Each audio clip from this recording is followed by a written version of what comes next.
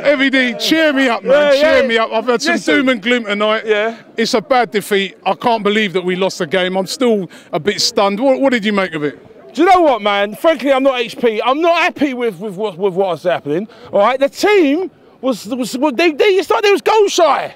It's like you know what I mean. It's like they didn't want to they didn't want to score. They want to pass it into the net, and that's not what it's about. You got you, you have no confidence. You know what I mean? You got to take you got to take your shots.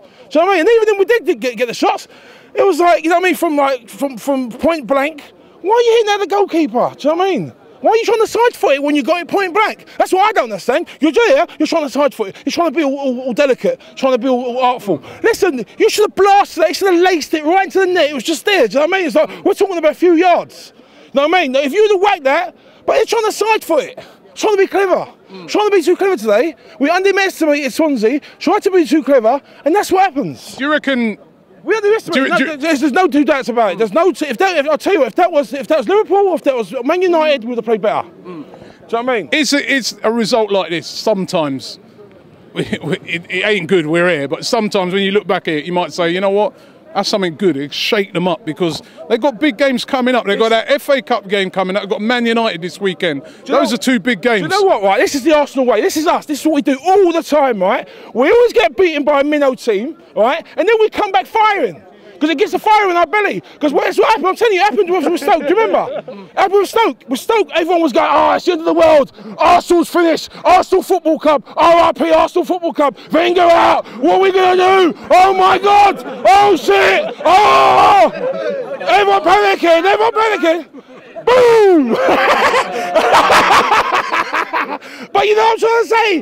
Why? But it's, it's how we, it's the club. That's what we do. We get we get to a certain pl- plateau, and then and then we then we get beat, and then we got to start all over again because everyone like me and everyone else has a go at them, and then they say shit, we've got to do something, and blah blah blah, and that's what happens. What do we do? What do we do? Some guys making a good point. Chelsea don't lose these type of games.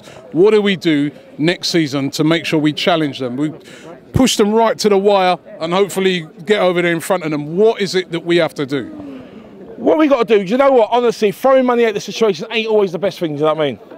Yeah, get a couple of get a couple of old soft strikers in. Do you know what I mean? If you can, yeah, why not? It's not going to hurt. Do you know what I mean? But I don't think I don't think that's that's just the answer. Do you know what I mean? I think today there's something to do. You, you, listen, it's no good trying. You got to find you got to find the fault of the problem. The fault with the problem is whenever we get whenever we get to a position where we get comfortable, we sit back. We sit back. We've done it against Monaco. We've done it against Stoke. We get a comfortable position. We think we don't have to try no more. And this thing, we underestimate these sort of teams. That's what we've got to do. We've got. It's, I think it's something to do with our like our mentality. It goes deeper than that. Do you know what I mean? It's something to do with that. We, we get too we get too complacent. Can we beat Man United? Of course you can get me, man. You know, are you crazy? I'm telling you. Listen, we're gonna listen. We are we are gonna brush Man United neatly, neatly, mate. I'm telling you. I'm telling you. Three one. Trust me. Three one. You heard it from me. Three one. Theo is not a world class striker, nor is Giroud. So who you, Giroud, Giroud is a first class model, yes. right? He's not a world class striker.